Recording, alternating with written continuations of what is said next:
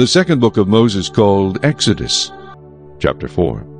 Then Moses answered and said, But suppose they will not believe me or listen to my voice. Suppose they say, The Lord has not appeared to you. So the Lord said to him, What is that in your hand? He said, A rod. And he said, Cast it on the ground. So he cast it on the ground, and it became a serpent, and Moses fled from it. Then the Lord said to Moses, Reach out your hand and take it by the tail. And he reached out his hand and caught it, and it became a rod in his hand, that they may believe that the Lord God of their fathers, the God of Abraham, the God of Isaac, and the God of Jacob has appeared to you. Furthermore the Lord said to him, Now put your hand in your bosom. And he put his hand in his bosom, and when he took it out, behold, his hand was leprous like snow. And he said, Put your hand in your bosom again. So he put his hand in his bosom again, and drew it out of his bosom, and behold, it was restored like his other flesh.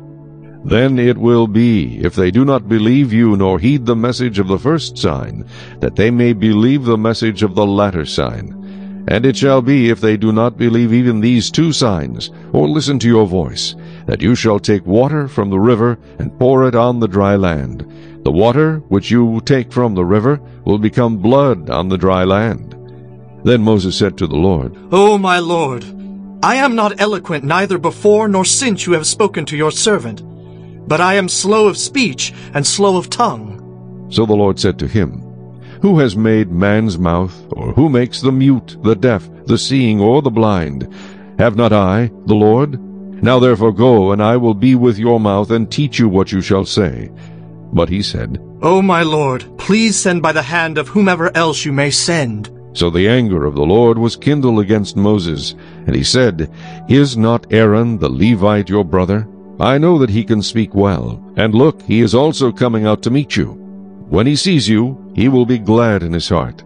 Now you shall speak to him, and put the words in his mouth, and I will be with your mouth and with his mouth, and I will teach you what you shall do. So he shall be your spokesman to the people, and he himself shall be as a mouth for you, and you shall be to him as God. And you shall take this rod in your hand, with which you shall do the signs. So Moses went and returned to Jethro his father-in-law, and said to him, Please let me go and return to my brethren who are in Egypt, and see whether they are still alive. And Jethro said to Moses, Go in peace. Go in peace. Now the Lord said to Moses in Midian, Go, return to Egypt, for all the men who sought your life are dead. Then Moses took his wife and his sons and set them on a donkey, and he returned to the land of Egypt. And Moses took the rod of God in his hand.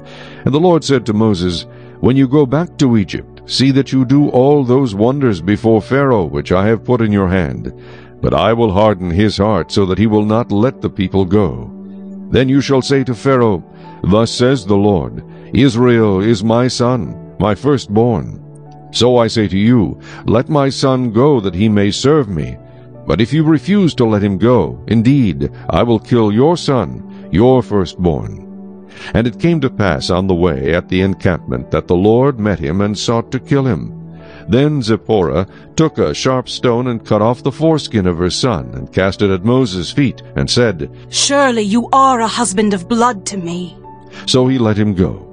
Then she said, You are a husband of blood because of the circumcision.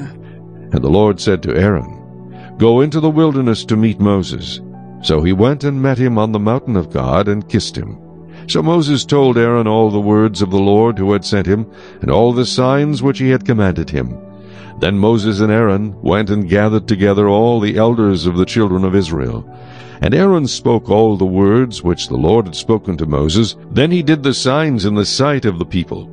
So the people believed, and when they heard that the Lord had visited the children of Israel, and that he had looked on their affliction, then they bowed their heads and worshipped.